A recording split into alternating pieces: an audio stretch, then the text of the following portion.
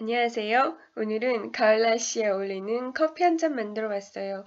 솜씨 좋으신 분들은 우유 거품으로 라떼 아트도 만드실 수 있는데요. 저는 망쳤어요. 먼저 우유를 데펴줄게요. 여기에다가 베이킹 소다를 아주 조금만 넣어주세요.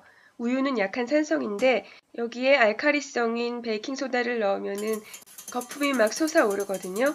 이때 거품기로 살짝 몇 번 흔들어 주세요. 그러면은 거품이 굉장히 많이 생기거든요. 이렇게 솟아올라요. 근데 불을 끄면은 금방 꺼지는데요. 뜨거울 때 커피에 담으시는 게 좋아요. 우유는 보통 커피의 8배 정도의 양을 넣으시면 돼요. 커피는 더블샷을 준비해 주세요. 아메리카노보다 커피 양두 배로 늘리시면 돼요. 그리고 여기에다가는 거품이 아닌 우유를 넣어주세요.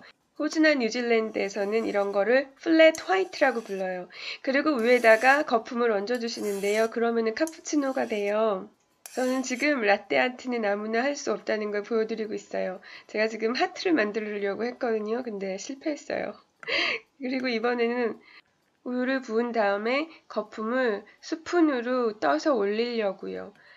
그런데 꼭 이렇게 하지 않으시고 우유 거품을 소복히 올리신 다음에 초콜릿 가루 조금 뿌려서 드시면 돼요. 사실 저는 라떼아트가 쉬워 보였었거든요. 근데 아무나 못하는 거더라고요. 그리고 우유 거품도 기계로 낸 거라서 훨씬 더 미세해요.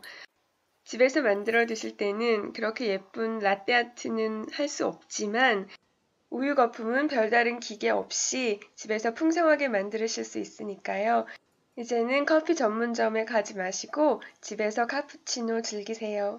네, 오늘도 봐주셔서 감사합니다. 안녕히 계세요.